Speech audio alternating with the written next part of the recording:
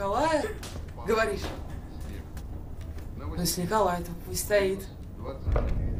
Она не верила в чудеса и икону сняла со стены совсем не ради молитвы. В тот день комсомолке Зои друг не пришел на свидание. Вот она и решила, будет танцевать с Николаем Чудотворцем, раз больше не с кем. Внезапно девушка застыла на месте и в таком положении оставалась долгие месяцы. Фильм Александра Прошкина «Чудо» основан на реальных событиях, которые в 50-е годы произошли в Самаре. В картине снимаются популярные актеры Сергей Маковецкий и Константин Хабенский. И в этой лентой в Володе сегодня открылся кинофестиваль «Сталкер». Главная тема кинофорума – человек и его права. На суд зрителей представлено 16 картин в трех различных программах. В кинотеатре Ленком будут демонстрировать художественные фильмы.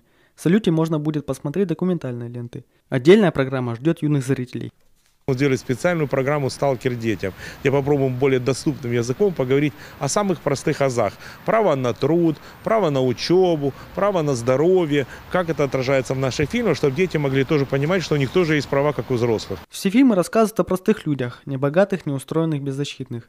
Героиня фильма «Дом ветра» потеряла сына на войне, но она находит в себе силы, чтобы дать жизнь смертельно больному ребенку. В фильме «Сынок» поднимается извечная проблема отцов и детей – Картина «Презумпция согласия» рассказывает о непростой жизни врача-азербайджанца в русской глубинке. И хотя во всех фильмах заняты известные актеры, картины широкому зрителю почти неизвестны. Здесь э, фильмы наши русские, которые не вышли в широкий кинопрокат, вот они выходили в России 15, 20, 30 копий на всю страну. То есть мы считаем это очень мало на самом деле, организаторы кинофестиваля тоже. Дед, ты что, на кладбище работал? Я-то? Я капитализм хоронил. Я многих, Юрка, похоронил. И меня хоронили не раз. Вообще фестиваль «Сталкер» существует уже 17 лет. В 2001 году его лучшие ленты уже привозили в Вологду, и вот уже сейчас второй опыт общения с вологодским зрителем. Практически каждую картину будут представлять лично актеры и режиссеры, поэтому даже без широкой рекламы интерес к фестивалю огромный.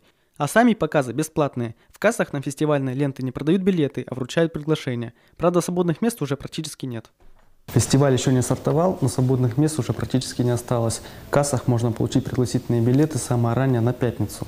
Но организатор уверены, кино посмотрят все желающие. При необходимости дополнительные места будут установлены в проходах кинозала.